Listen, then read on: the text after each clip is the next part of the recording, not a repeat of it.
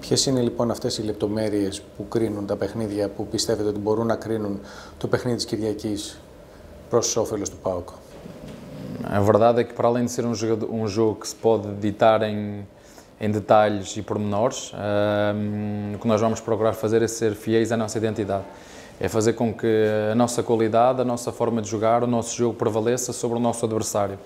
E logicamente que dentro das quatro linhas vai estar o confronto de duas ideias de jogo, dois treinadores, duas equipas com, com bons jogadores e o que nós vamos procurar fazer é impor a nossa forma de jogar.